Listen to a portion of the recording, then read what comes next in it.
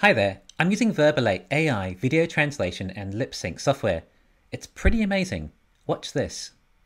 I can translate my videos into other languages. For example, I am now speaking Hindi.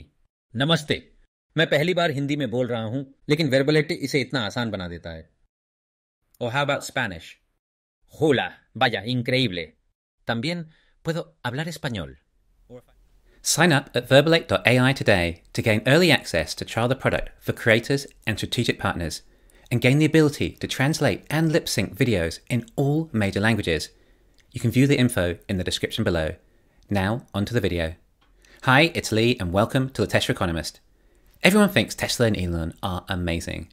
They have this whole thing planned out the entire business, industry, and future of transportation, energy, and labour for the world. And it looks amazing. Almost a utopia. If anyone doubts them, then they're asinine. How on earth could a small brain like theirs comprehend anything that Elon Musk and his army of savant engineers are aiming to achieve? People like that are playing checkers, whilst Elon is playing 3D chess, or even 4D chess, according to some people. Except that's not the case, is it? Things have not developed how Tesla have told us. We've not seen the plans come to fruition. Tesla has a dynamic business plan and is pivoting continually to where the greatest success may lie. We know this because they've laid out the plans in front of us and literally called them master plans. Tesla have achieved some of this plan. There is an affordable car for the masses, depending on your definition of the masses.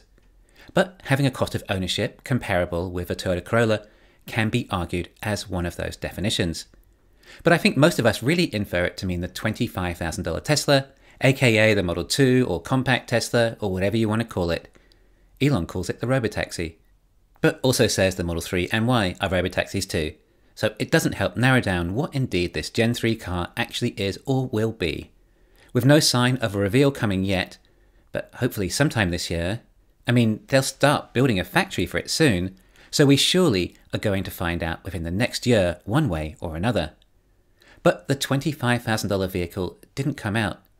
And even on the earnings call, Elon openly said that we're no longer working on a $25,000 car. On battery day, it did feel like the $25,000 car was going to be coming out sometime soon, but it didn't. And then, even on an earnings call, Elon openly said we're no longer working on a $25,000 car, and instead try to think about an affordable travel on a per mile basis rather than cost of ownership, implying that the affordable car is going to be a robotaxi, not a $25,000 car. And if Tesla are able to solve FSD to a high enough level to reach robotaxi status, this would be the most profitable avenue to pursue. It's just hard to know if and when FSD will be solved as we've been told it will be happening this year for the last seven years.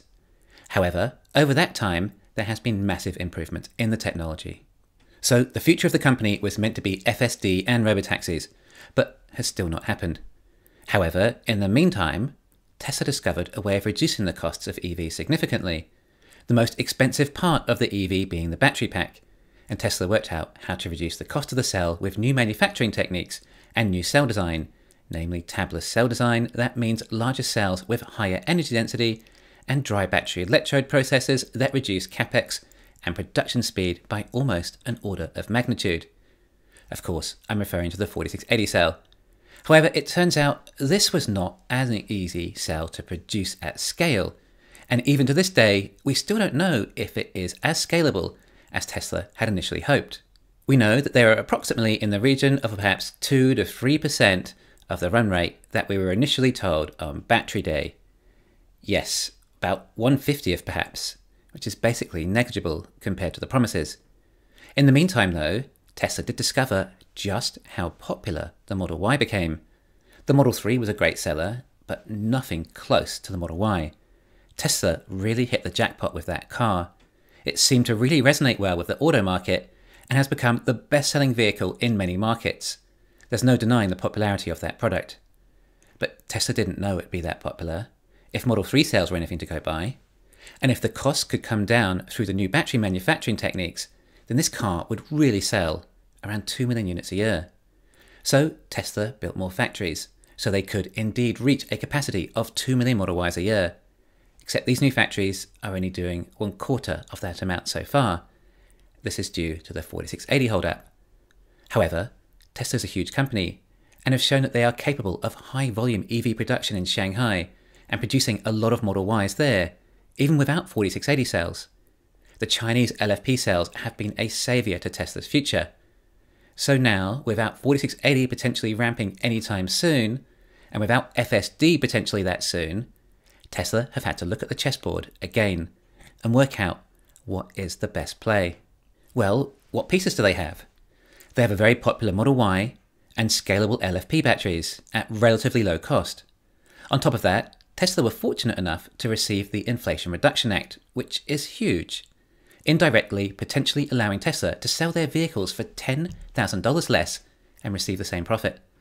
And this included any vehicle and cell made in the continent of North America, including Mexico, or even Greenland for that matter. But Mexico carries more advantages. It has low cost labour and obviously borders with Tesla's biggest market, the United States. Tesla have also been researching and rethinking manufacturing techniques once again for electric cars. Right, so what would you do with all of that? Well, Tesla are building a new massive factory in Mexico that will likely make a smaller version of the Model Y. It will use an LFP battery, or possibly something more advanced from CATL like their new M3P cell, but either way, the cathode will be mainly iron based. But it can still be a structural battery pack, use front and rear castings, and we'll use Tesla's new unboxed parallel manufacturing technique to reduce costs and increase production output along with other advances like a 48 volt system supposedly using one quarter of the current amount of copper used in EVs. If the cells are made in North America too, rumoured that Tesla are partnering with CATL with a new 100 gigawatt hour year facility in Texas, then there'll be a further saving of $35 per kilowatt hour for the cells. So it would appear that this is where Tesla pivoted to for now.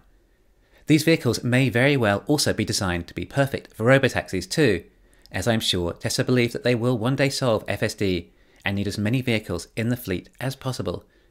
They'll have hardware for better braking, improved cameras, faster processing, and more, of which will make them ideal for robotaxis. Tesla also realised there is a large market for electric vans too. Think of the advantages you can have with an electric van, especially for people in various trades, or delivery vans that drive a lot of miles each day and can thus save a fortune on gas.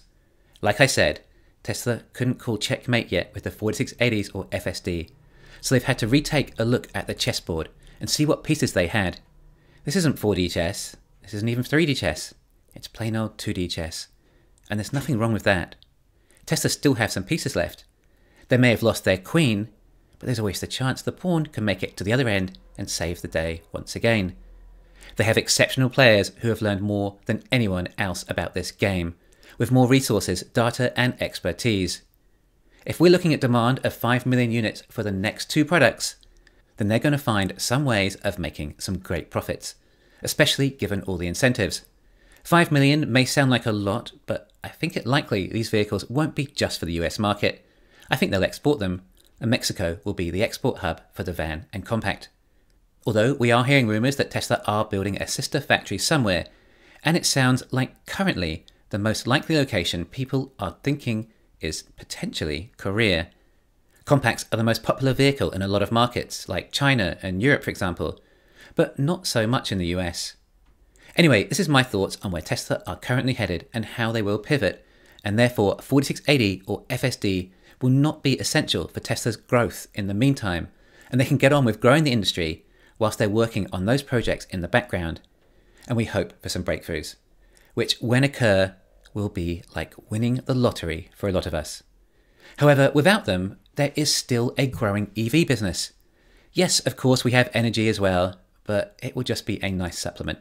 It won't be as big as EVs in the financials. And sure, the potential for bots, and perhaps the AI software will be more suited for bots at first. As if a bot crashes into something, there's significantly lower chance of any fatalities when compared to a car. And I'm not a robot expert, but I like to think I have observation skills, and those latest Tesla bot videos look pretty impressive to me. So who knows, maybe Tesla will end up pivoting from vehicle robots to labour robots whilst they still figure out some of the issues for the cars. Again, more chess pieces they have on the board. Tesla have been working so hard with so many intelligent people, they've created incredible feats in engineering and technology. They can reuse them in other areas that perhaps they were not initially designed for. So, although Tesla may not be quite on track for the master plans, in the meantime, they may just deviate slightly to pick some of the fruit that they can reach already. Thanks for listening. Please hit the thumbs up and subscribe. You can follow me on Twitter and talk to me on Patreon.